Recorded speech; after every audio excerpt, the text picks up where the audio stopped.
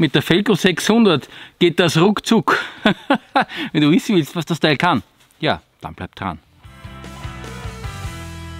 Hallo willkommen, da ist der Reini Rossmann vom Survival Shop Überlebenskunst. Schön, dass du dabei bist. Ja, Felco 600, eine Klappsäge, die ich seit über 10 Jahren habe. Ein Schweizer Qualitätsprodukt, das ich das erste Mal in einem Bauhaus gesehen habe. ich glaube, Obi-Markt heißt das bei uns in Österreich. Ich weiß nicht, ob es das bei dir daheim auch gibt. Und äh, da habe ich mir die mitgenommen.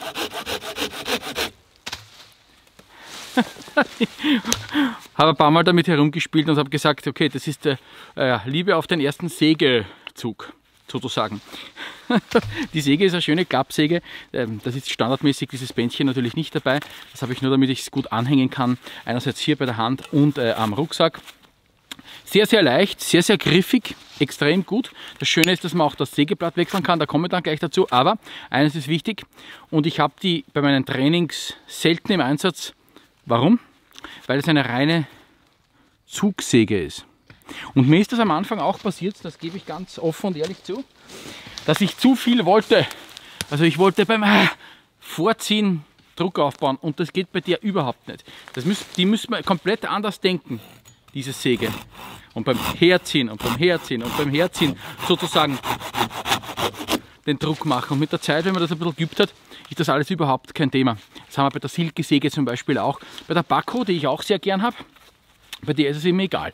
Und das war mir nicht klar und da habe ich das Sägeblatt verbogen. Äh, ich habe viele von denen, sicher fünf, sechs Stück.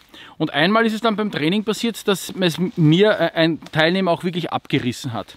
Obwohl ich gesagt habe, Zug.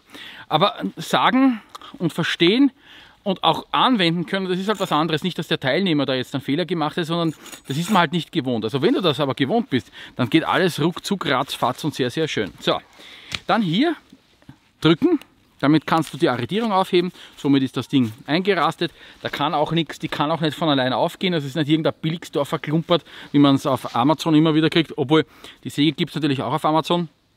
Billige Eigenwerbung. ich gebe da unten den Link zu mir in den Shop. Dort gibt es übrigens auch das Ersatz-Sägeblatt oder auf Amazon. Schau mal her, was mir auch gut gefällt, ist dieser Teil hier. Ja, damit die Säge, weil sie ja beim Zug, du machst beim Zug den Druck. Ja, ja, liegt das richtig schön in der Hand. Das ist wirklich sehr, sehr gut gemacht. Und, wie gesagt, arretiert. Der Klingenrücken oder der Sägerücken, der ist auch etwas scharf. Feuerstahlbedienung ist also grundsätzlich auch möglich. Eine runde Geschichte. Im Vergleich zur Silkesäge ist diese Felco auch deutlich leichter.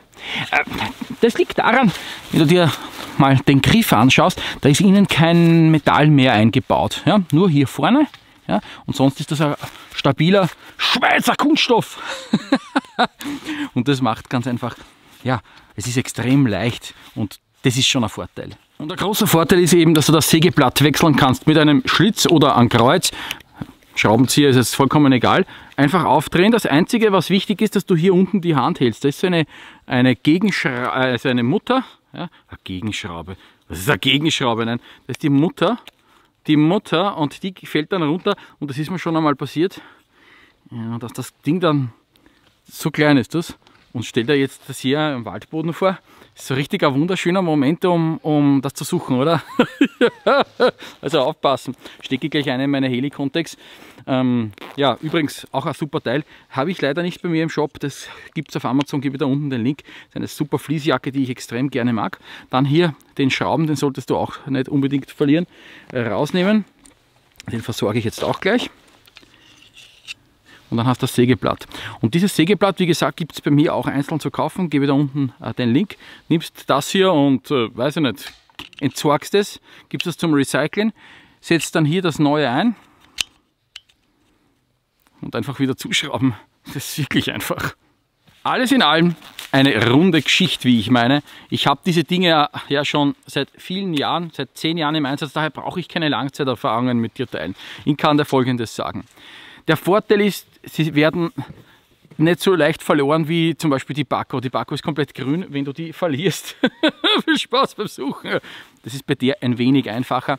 Wenn du dann noch ein Bändchen, eine Schnur mit dazu gibst, bist du gut unterwegs. Ich hänge die zum Beispiel dann irgendwo auf und dann, die findet man wieder. Das ist sehr, sehr praktisch. Also ich mag das auch im Lagerleben sozusagen. Der einzige Punkt, Nachteil, wenn ich jetzt so sagen mag, ist, dass man ein bisschen üben muss, wenn man noch keine Erfahrung mit der Zugsäge hat, weil die dann doch brechen kann oder sich auch verbiegt.